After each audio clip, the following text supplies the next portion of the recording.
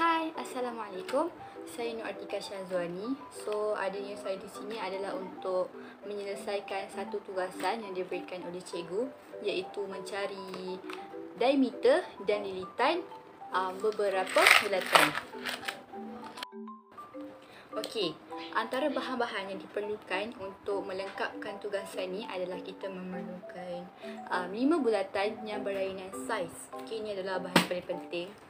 So ni yang pertama kita perlukan tabung. Tak ikutlah benda apa pun Janji dia ada tapak dia bulat Okay So saya pilih tabung. Sebab tapak dia bulat. Kemudian saya pilih yang ini. Silinder Kita pasal. Dan ini. Botol minyak. Kemudian cawan. Cawan kaca. Dan pinggan kaca. Okey dan kemudian pisau eh pensel untuk kita tulis mencatat segalanya dan mungkin. Kemudian gunting dan kertas warna. Kita perlukan lima kertas warna sebab kita ada lima baran lima bahan. So hmm jadi kita perlukan lima kertas warna okey? Okey lepas tu kita perlulah um, tekak um, ukir Ukir dia punya tapak Bulatan dia ni di kertas. So saya dah sediakan 5 kertas berlainan warna. Um, uh, Tada ada warna kuning, orange uh, Macam tu lah kan. Okay So mari kita buat bersama-sama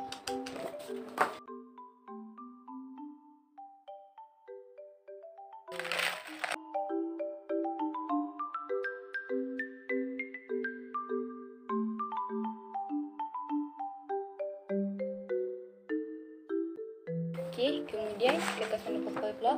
Kita akan mengukur cawan. Saya akan ambil belah ini sebab nampak macam lebih mudah tekak. So, bila kita tekak. Eh, ukur.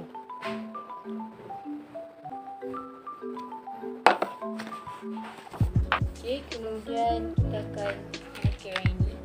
So, saya akan ambil tapak yang ini.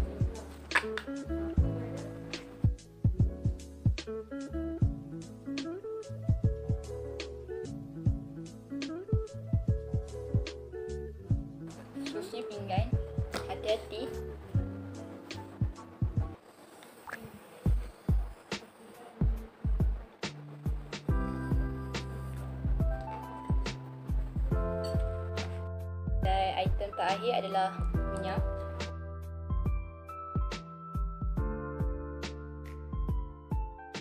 Okay, so kita dah siap ukir semuanya. Okay, so kita label sebab saya takut nanti keliru walaupun kita tahu dia punya lautan tu. So, dalam botol.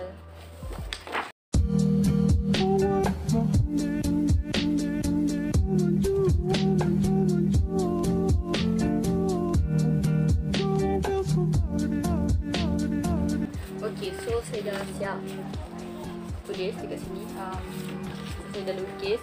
So, ada ini. So dah cukup 5 bahan. Kita dah ukir 5 bahan. Okey, so sekarang kita akan menggunting.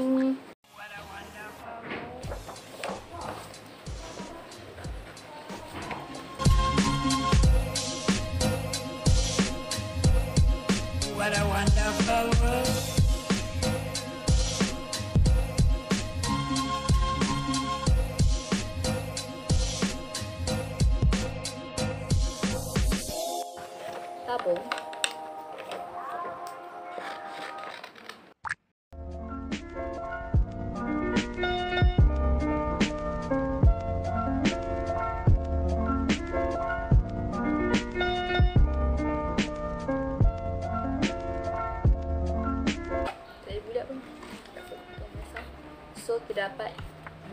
bulatan bagi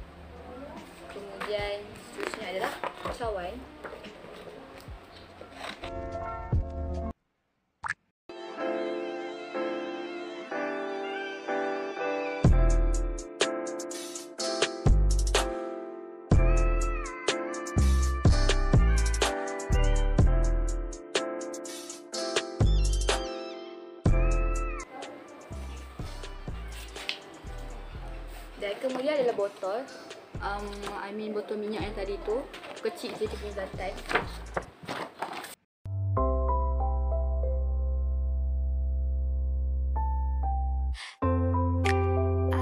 Dah dapat. Jika dah dapat empat bulatan, so tinggal lagi satu iaitu bekas pen. Fokus, fokus. Hmm.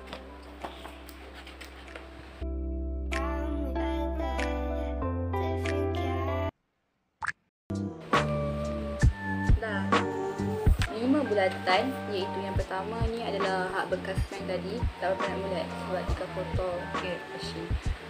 Ini adalah be- bekas air tadi tu. Eh botol air, eh botol minyak. Dan ini pula adalah bekas cawan. Eh, ha cawan. Eh. Tak. Uh, uh. Ni pula adalah sabun. So, ini pula adalah pinggan. Kita dah siap um, memotong, membunting. So, sekarang ni Tika akan ajar korang macam mana nak cari jejari ataupun diameter. Jejari. Diameter adalah dua kali jejari. Okay. So, pertama sekali kita lipat di bahagian macam ni. Kita lipat dua.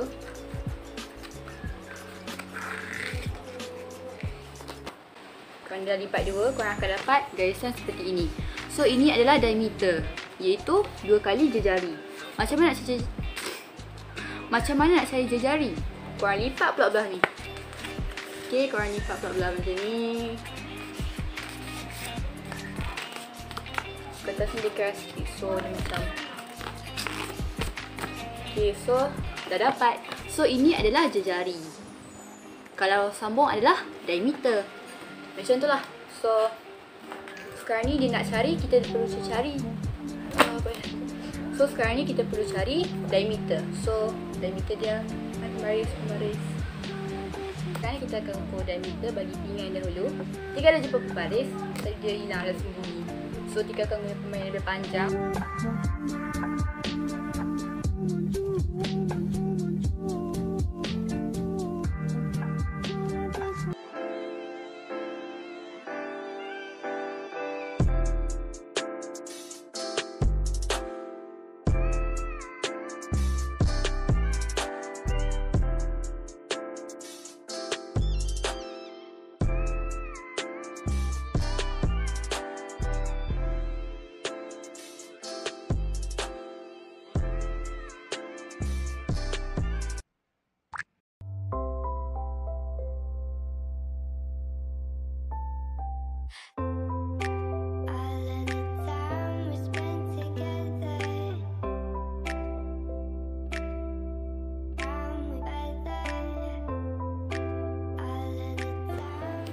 Okay, so kita dah cari kita dah cari semua dia orang punya diameter.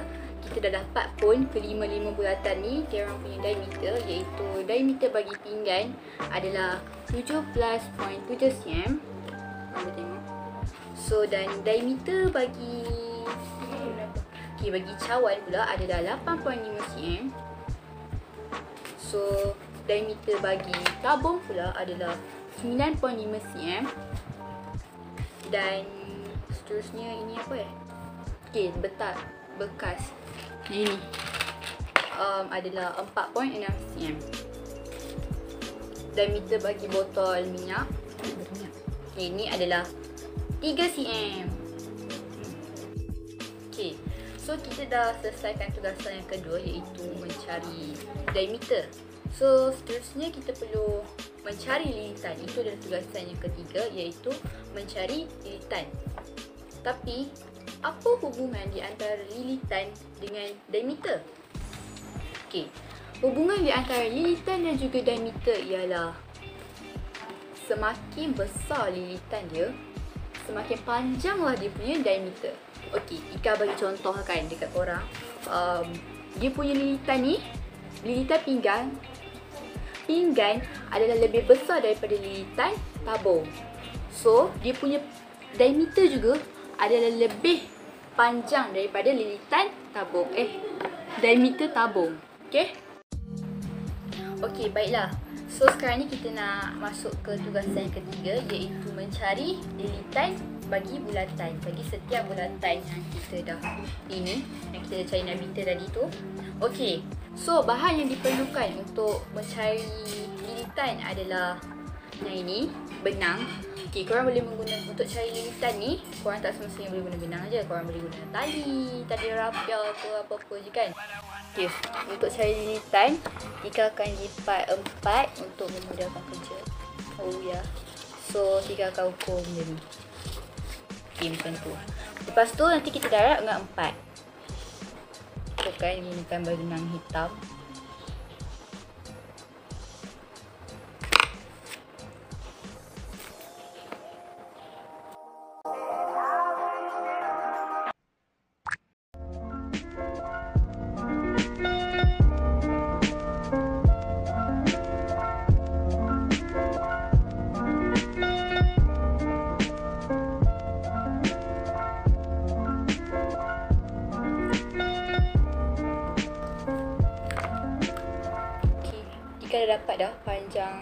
Punya Tapi Tika dapat satu je lah. Okay, so nanti Tika akan kali dengan empat. Sebab apa? Dia ada satu, dua, tiga dan empat. Panjang ini kali dengan empat. Ni pun sama, korang kali dengan empat juga